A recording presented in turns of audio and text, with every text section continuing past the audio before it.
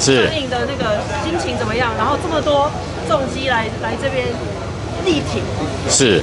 其实其实亢奋了啊，开心了。三十年前的作品，经过了四 K 修复，这么的清晰，然后又这么的有震撼力的声光再进阶的再呈现出来，呃，我刚刚问了一些朋友，他们都说很喜欢，很喜欢。非常开心，非常感恩，因为一个艺，嗯，应该讲说，在线上艺人可以为自己三十年的作品哦，三十年前的作品，再次的呃跟所有的观众朋友一起欣赏，然后今天能够有这么多的重击朋友，还有那么多的好朋友力挺，那就像刚杰哥讲的，